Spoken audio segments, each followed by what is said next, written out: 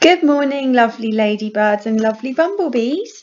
How are you today? Are you ready for your next literacy lesson?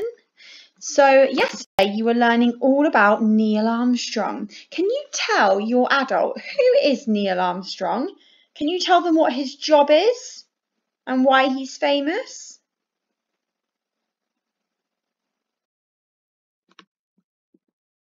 Okay, have you told them?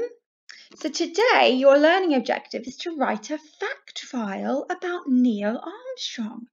So a fact file is when we write the things we have learnt about, the, when we write the facts that we have learned about Neil Armstrong, um, and it makes a little document or a little bit of paper that has all the facts we know about him, and sometimes you even have a lovely picture as well.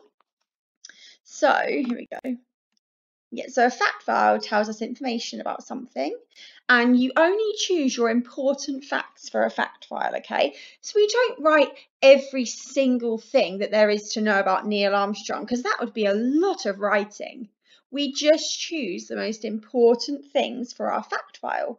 So can you tell your adult what we learnt about Neil Armstrong yesterday? Can you tell them any of the facts you can remember about him? Off you go.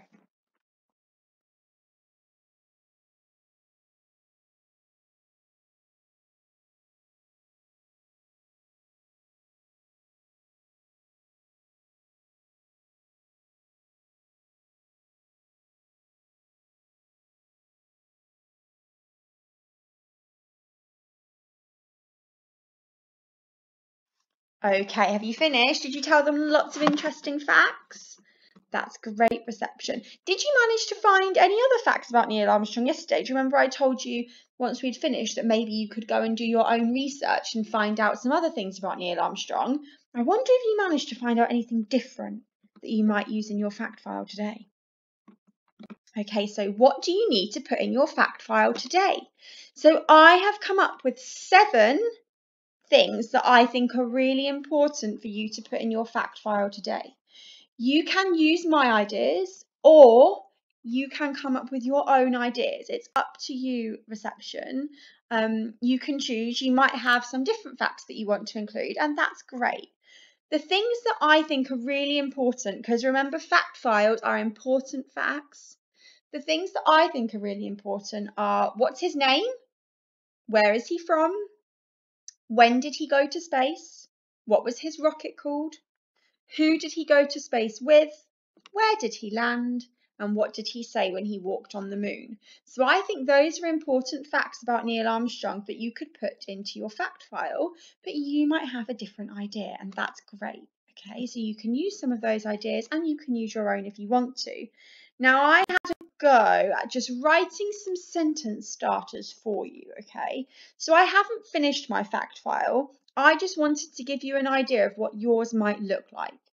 So I started mine with Neil Armstrong was born in, he lived in, do you remember where he lived?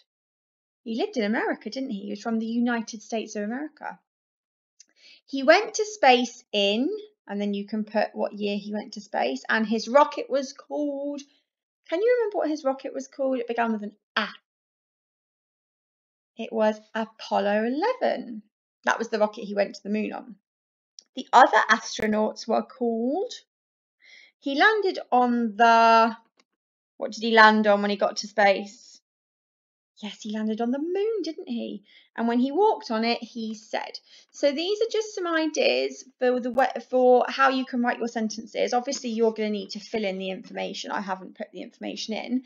You might want to do that, or you might want to do something different. That's absolutely fine. You can do this however you want, as long as you get in your important facts about Neil Armstrong. So, your challenge today you are going to write your fact file. Make sure you put in the important information we've talked about today, okay? So the this is the important information. If there's anything else you found out yesterday that you think, oh, that's really important, put that in too. And when you finish, you could even draw a picture of Neil Armstrong, his rocket, or the moon to go with your fact file. I think it's really nice when you make a fact file to draw a picture with it too. And I know that you're all super, super drawers. So give it your best go reception. Remember that I love, love, love to see your work. Um, if you want to email it to me, if you want to put it on Tapestry, I would love to see it. Remember your important facts. Um, and you can use my sentence starters if you want to, or you don't have to. It's up to you. Good luck. Can't wait to see your fact files. Bye, reception.